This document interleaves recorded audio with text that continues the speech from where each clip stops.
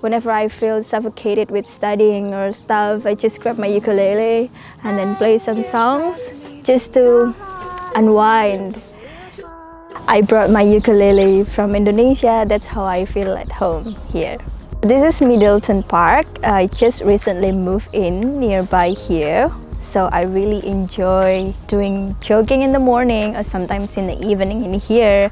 And sometimes I bring my ukulele and yeah, that's how I enjoy Christchurch. I've been learning my ukulele since 2019.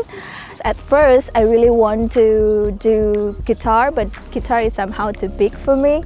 So I start, okay, why don't I just have ukulele try because it fits my body. it's, it's smaller.